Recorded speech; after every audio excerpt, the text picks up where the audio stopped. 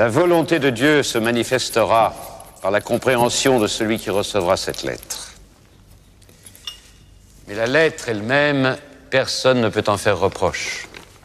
J'accepte même de sceller cette lettre de mon propre sceau. Frère Guillaume, que vous avez placé auprès des gardiens, entend le latin. C'est lui qui la lira.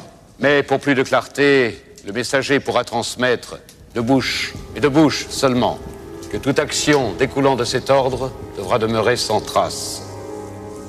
Eduardo Moxidere.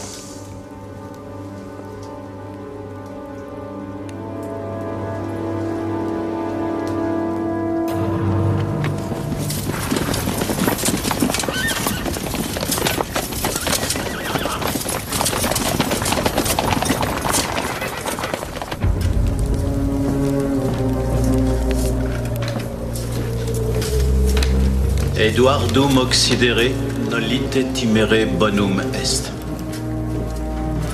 Eduardum occidere, ça je comprends. Nolite, ne faites pas. Timere bonum est. Vous parlez latin ou non? Comme il n'y a pas de virgule, la lettre peut se lire dans les deux sens. Si bien que l'on peut comprendre ne tuez pas Édouard, il est bon de craindre cette chose.